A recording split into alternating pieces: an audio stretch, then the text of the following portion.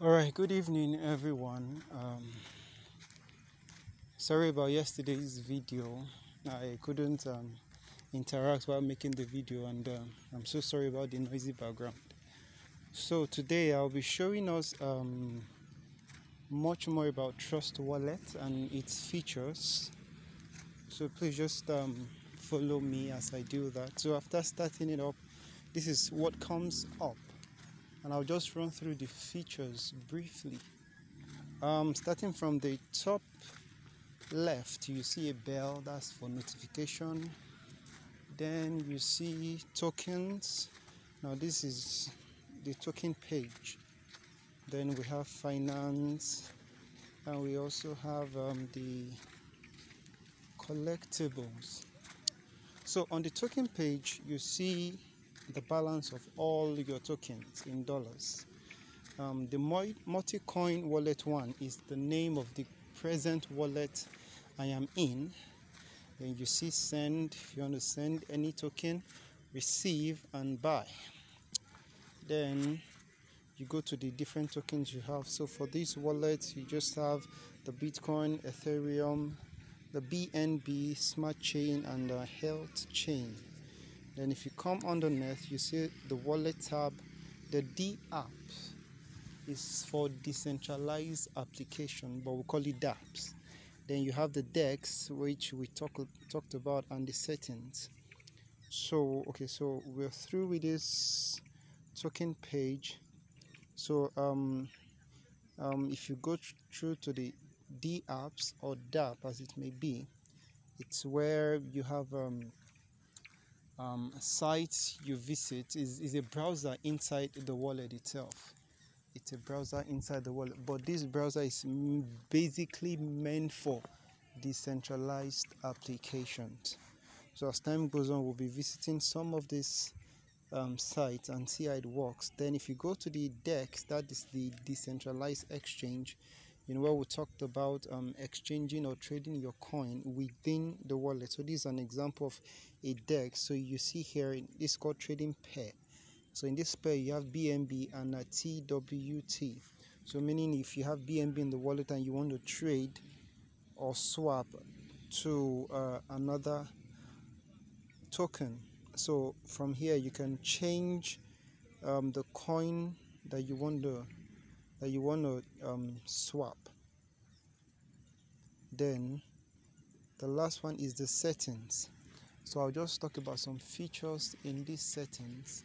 So the first one is the wallets. Now this wallet um, shows you the number of wallets you have inside your trust wallet. So right now um, I have three.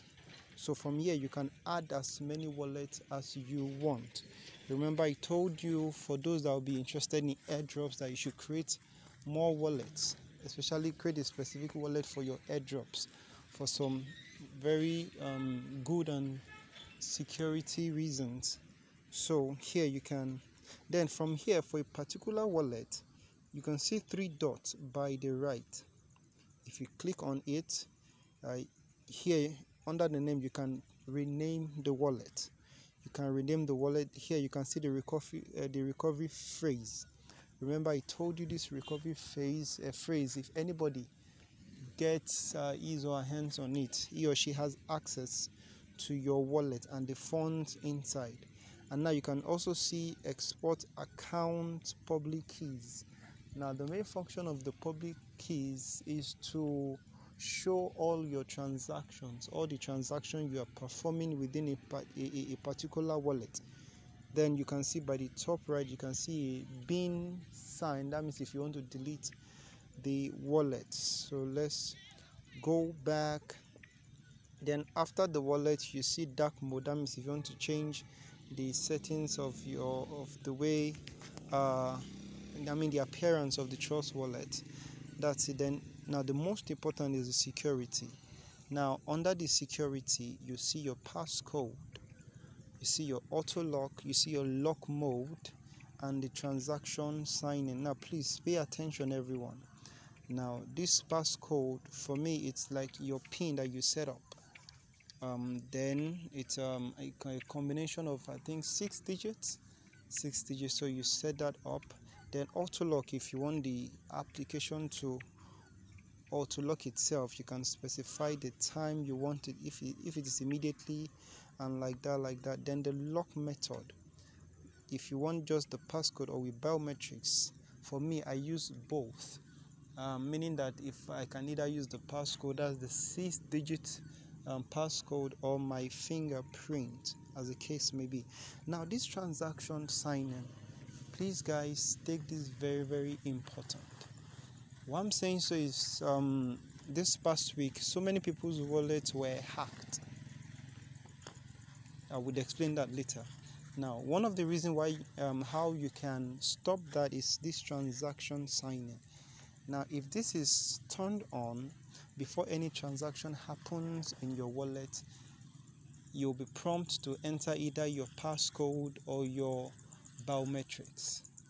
So even if even if anybody one way or another enters your wallet once they get to this point except if they know your passcode. So that is one way of securing your wallet. So please make sure it's always turned on.